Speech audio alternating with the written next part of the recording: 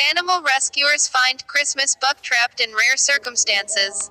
This serves as a good reminder. Dylan Thompson. December 5, 2019, 1:19 a.m. Greenwich Mean Time plus 7. Rescuers in Northern California are searching for a deer that was found trapped in an unusual and holiday appropriate predicament. The buck, which was spotted in Marin County, just north of San Francisco, became completely entangled in a series of Christmas lights, according to the Marin Humane Society. The organization posted photos of the animal on its Facebook page Monday, adding that they had so far been unable to capture it and remove the lights. The post also issued a warning to would be holiday decorators.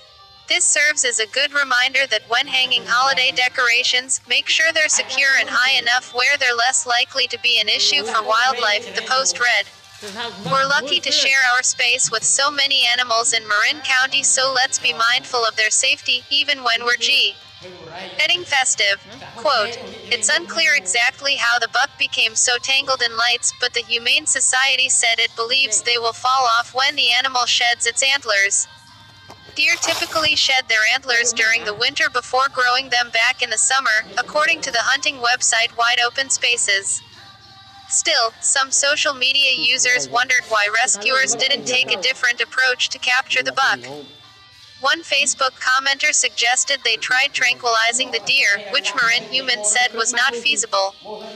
It's much too dangerous to use a tranquilizer on this deer, Marin Humane responded on Facebook. He's in a populated area and could easily jump out into traffic before it takes effect, putting both him and the public in danger. The organization's original post noted how hard it had been to try capturing the deer in the first place. Catching deer is extremely difficult and catching a buck is even trickier, the Facebook post read. Our officers would have to use a control pole to get a handle on him, which leaves them open to the risk of being charged and injured. Marin Humane added that the deer is still able to graze and run just fine, and that they'd continue to monitor the situation going forward.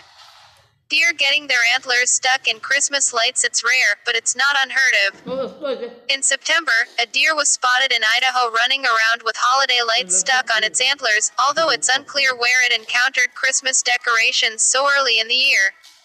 Last month, a photographer in Michigan spotted another kind of rare buck. A three antlered deer. That animal, which some called a one in a million, find quickly went viral after photos of the creature were shared on Facebook.